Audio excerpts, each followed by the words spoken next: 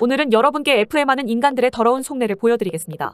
이 인간들은 비혼 비연의 비스스를 주장하지만 놀랍게도 파트너에 대해 이야기하는 공간이 있으며 살아있는 오나홀이 되지 말고 콜걸이 되지 말자라고 파트너를 끊어내자고 이야기를 하고 있습니다. 마치 성도착증에 걸린 인간들 치료하듯 말하는 우리 여성 인권운동가들을 보실 수 있죠.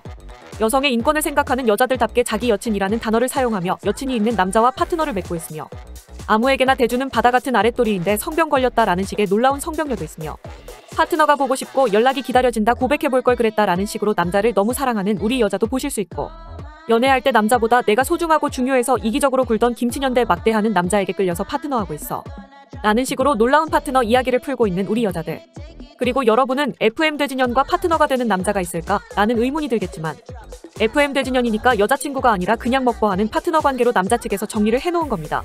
여성시대에서 가장 믿어도 되는 이야기가 바로 그녀들의 파트너썰인 거죠. 돼지녀들이 정기적인 연애 경험이 많을까요? 파트너로 먹버당한 경험이 많을까요? 생각해보면 여성인권 운동가들이 모인 사이트의 파트너 이야기 댓글이 9,660개가 넘어가는 건 당연한 겁니다. 그리고 진짜 레전드 썰을 보여드리자면 추석 때 네가 선보러 간다고 해서 속상해서 파트너 정리할 거다. 널 사랑했지만 너는 나를 값싼 오나홀 취급했고 데이트도 안 하고 모텔로만 갔었지. 모텔 값도 내가 냈고 관계가 끝나고 내 앞에서 담배까지 피웠으며 나에게 다른 여자 선물까지 골라달라 했었잖아. 거기다가 보겸과 신남성연대를 구독하고 있었지만 나는 아가리로 페미하는 년이라 너에게 벌려줬어. 제발 후회해 나 같은 여자 없었다는 걸 말이야. 라고 말하는 놀라운 우리 여자를 보실 수 있습니다. 보겸님과 신남성연대를 구독하며 대놓고 반페미 정상인임을 보이는 남자라는 걸 알고 있지만 그녀는 값싼 오나홀처럼 남자에게 시원하게 대주는 그런 여자였습니다.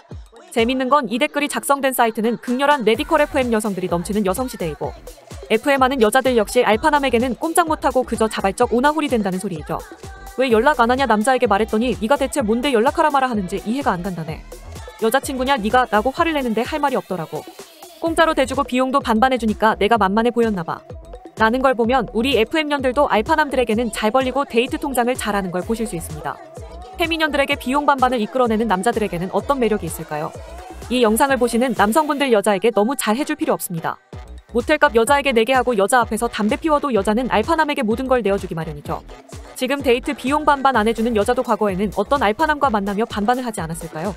이런 생각하기 시작하니까 뭔가 입맛이 씁쓸해지네요.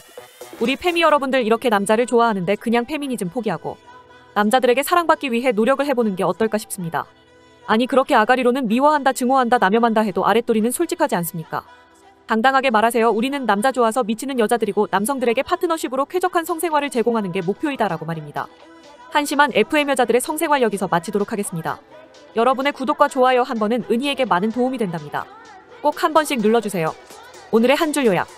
니들이 예쁘고 착했으면 파트너가 아니라 여자친구가 됐겠지.